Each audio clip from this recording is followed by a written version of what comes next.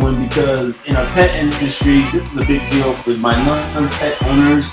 It's a big deal. The tummy of your favorite puppy, they get upset. Tummies and I mean vets. I mean, I'm just gonna.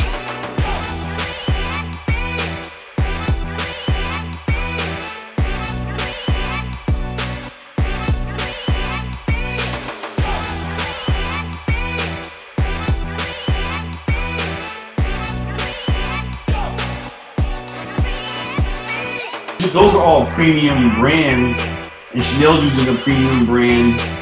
We don't. I don't. I mean, you guys have digestive issues with your dog, with your pets. I mean, I don't have any digestive issues. I, I I spend it on food. So, do you guys have Chanel? Dana?